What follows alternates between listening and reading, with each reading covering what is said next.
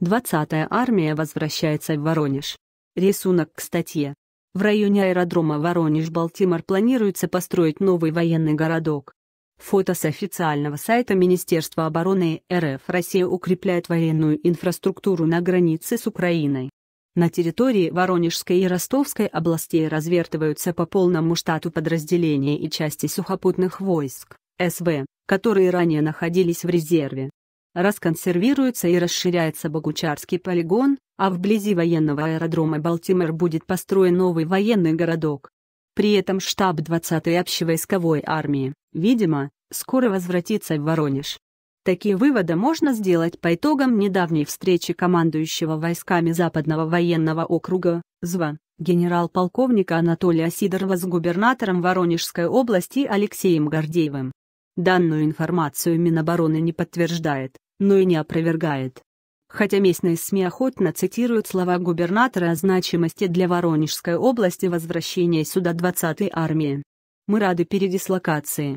Армию провожали в свое время с грустью, потому что для нас всегда было очень престижно, что она размещалась именно здесь, Минус заявил глава региона в минувшую пятницу после встречи с генералом Сидоровым. Штаб и управление 20-й общевойсковой армии из Воронежа убрал в 2010 году своим распоряжением тогдашний министр обороны Анатолий Сердюков при поддержке экс-начальника генштаба Николая Макарова. Тогда, как известно, они порезали множество других частей и соединений российской армии, в том числе в Нижегородской области расформировали 22-ю армию Московского военного округа. На ее место и была передислоцирована 20-я армия. Теперь же, судя по всему, все возвращаются на круги своя. Армия не только будет возвращена, но и будет создана новая военная инфраструктура в регионе. Во время встречи с Гордеевым командующий войсками ЗВА сообщил, что Минобороны планирует построить в районе аэродрома Воронеж-Балтимор новый военный городок. По плану работы должны завершиться в 2015 году. Какие конкретные новые воинские части появятся в этом военном городке, не сообщается. Но уже ясно, что совсем скоро строящиеся казармы пополнятся личным составом, а ангары – боевой техникой. Другая важная задача для Минобороны, которую обсуждали Гордеев и Сидоров, минус расширение полигона, расположенного на территории Богучарского муниципального района. Как отмечалось, для окончательного решения данного вопроса Минобороны необходимо дополнительно проработать тему с правительством граничащей с районом Ростовской области. Данный вопрос для управления обороны страны, конечно, значим, поскольку Ростовская область входит в зону ответственности Южного военного округа, ЗВА а Воронежская область и все дислоцированные в ней военные объекты и гарнизоны входят в состав ЗВА. Почему расширяют полигон, который будет находиться уже на территории двух военных округов и подчиняться командованию ЗВА, не сообщается.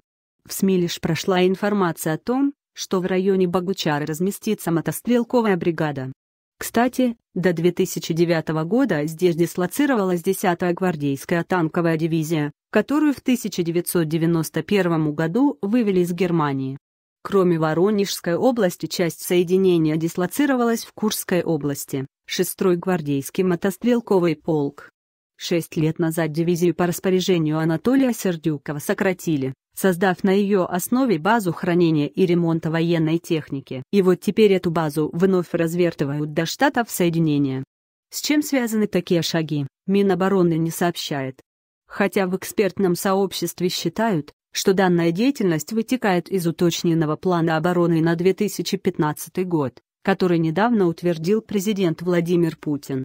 И этот план касается ситуации в Донбассе. По мнению военного эксперта генерал-лейтенанта Юрия Неткачева, в 2014 году РФ появились новые военные угрозы. Киев угрожает реваншистским походом на Крым и переносом боевых действий на территорию России. И здесь, конечно же, министр обороны Сергей Шойгу должен наращивать боевой потенциал вооруженных сил, в том числе на западе страны в связи со складывающейся военно-политической обстановкой.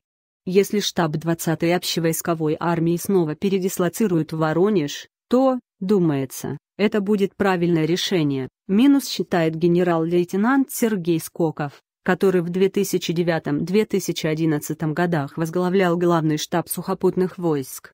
По его мнению, тогда для многих военачальников и экспертного сообщества было очевидным, что перевод в 2010 году этого объединения из Воронежа в Мулино, Нижегородская область, оголял запад России, создавал трудности для построения там надежной обороны. Но эти мнения не учли тогда ни бывший министр обороны Анатолий Сердюков, ни начальник генштаба Николай Макаров. Теперь их ошибки приходится исправлять.